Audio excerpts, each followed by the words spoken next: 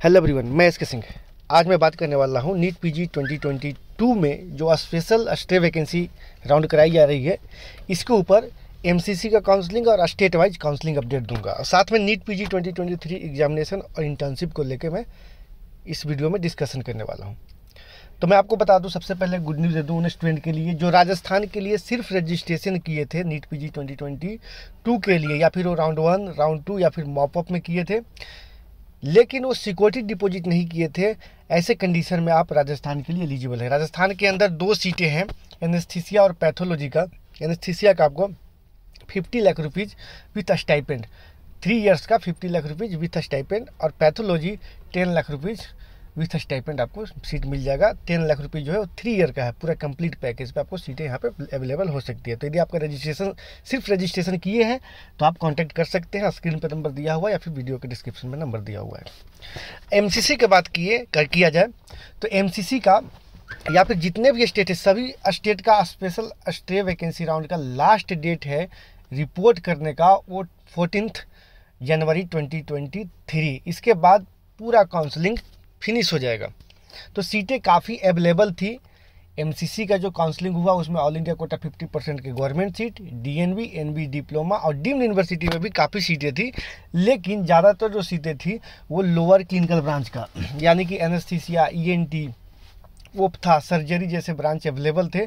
Maximum, और बाकी radio derma medicine paedia gynae की बात किया जाए तो ये लिमिटेड सीट ही अवेलेबल थे। तो इस कंडीशन में वैसे स्टूडेंट जो round one round two mop up या स्टे वैकेंसी राउंड में एक भी सीट नहीं लिए थे, यानी कि उनके पास एक भी सीट अलॉट नहीं हुआ है। इस कंडीशन में आपको काफ़ी अच्छा golden opportunity special stay vacancy round में मिल सकती है, क्योंकि यहाँ पे कट ऑफ़ है, काफ़ी डाउन जाने वाला है, काफ़ी डाउन जाएगा। और आप लोग को होपफुली जो चॉइस फिलिंग किए हैं यानी कि पहले से रजिस्टर्ड थे, उन्हें काफ़ी अच्छा अपॉर्चुनिटी मिलेगा। अच्छा ब्रांच उनको सीटें मिल सकती है।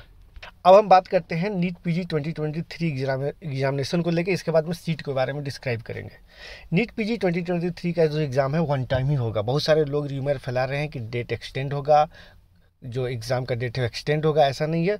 फिक्स टाइम पे फिफ्थ मार्च 2023 को एग्ज़ाम करा ली जाएगी। और इंटर्नशिप को लेकर जो प्रॉब्लम हो रहा है, मैं मोर देन सेवेंटीन ऐसे स्टेट हैं, यानी कि अठारह एटीन ऐसे स्टेट है, जहाँ इंटर्नशिप है, वो थर्टी फ़र्स्ट मार्च से, मार्च तक कंप्लीट नहीं हो पा रहा है डिले हो रहा है तो इस कंडीशन में इसका कुछ ना कुछ सोल्यूशन आपको दिया जाएगा एन की तरफ़ से। आपको सोल्यूशन मिलेगा। जैसे ही कोई इन्फॉर्मेशन आता है, मैं आपको अपडेट कर दूँगा, लेकिन फिर भी आपको टेंशन नहीं लेना है उन सभी स्टूडेंट को, जिन्हें थर्टी फ़र्स्ट मार्च से पहले इंटर्नशिप कंप्लीट नहीं हो रहा है। आपको भी ऑफ़र की जाएगी।